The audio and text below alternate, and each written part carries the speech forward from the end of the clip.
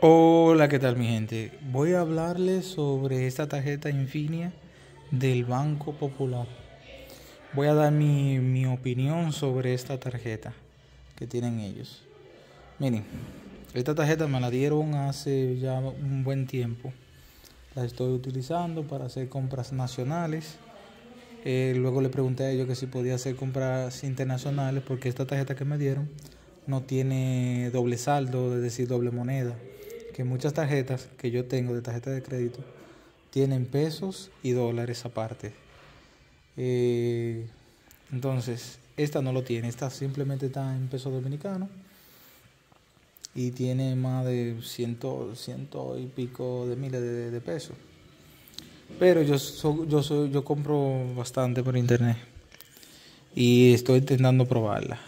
Lo único eh, para compras aquí nacionales, perfecta. Me gusta que no tiene el, código en la parte delantera de, de los, códigos de la tarjeta, porque así yo la puedo enseñar. Yo no puedo enseñar la de los otros bancos que tengo porque siempre tienen el código adelante. Eso me gusta de esto.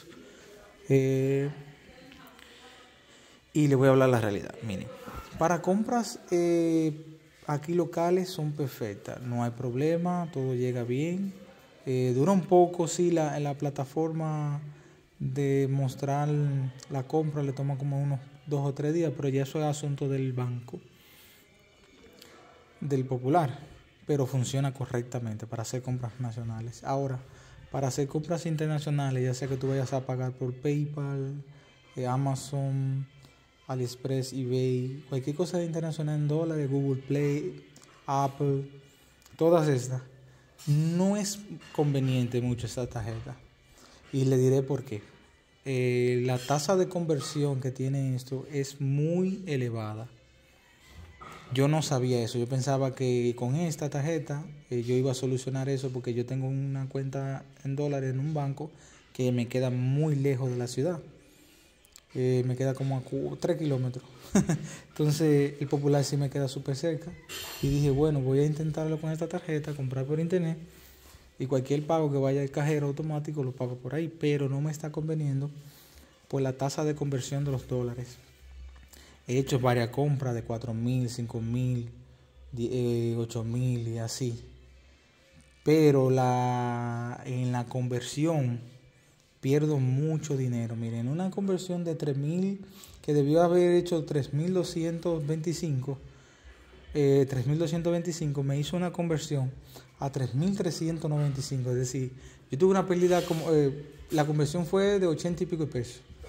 Y luego compré varios artículos, era de a 20, 60 pesos, 50 pesos, que yo me quedaba, wow, pero la tasa de conversión del Banco Popular es muy mala.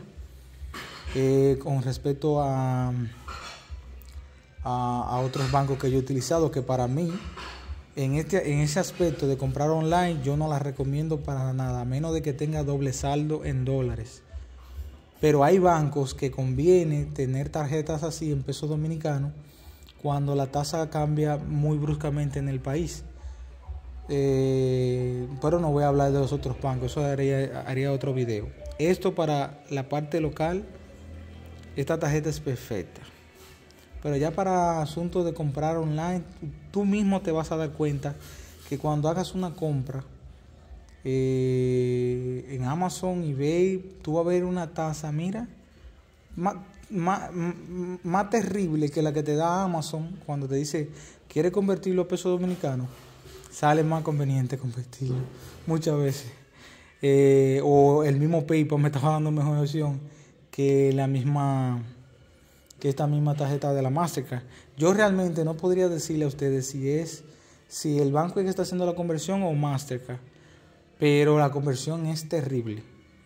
No sé si es por Mastercard, porque como no he tenido una tarjeta Visa de crédito de Popular, no podría hablarle con mucha certeza si es por el asunto de que Mastercard está haciendo la conversión o es Visa. Normalmente Visa en otros bancos me ha dado buenos resultados y prefiero tenerla incluso a veces en peso dominicano. Pero eso es, un, una opinión mía. Eh, ustedes se darán cuenta probando esta tarjeta, la Infinia, que que lo que yo estoy diciendo tiene toda la realidad. Ustedes verán que cuando compren por internet la tasa de conversión no le va a favorecer a ustedes.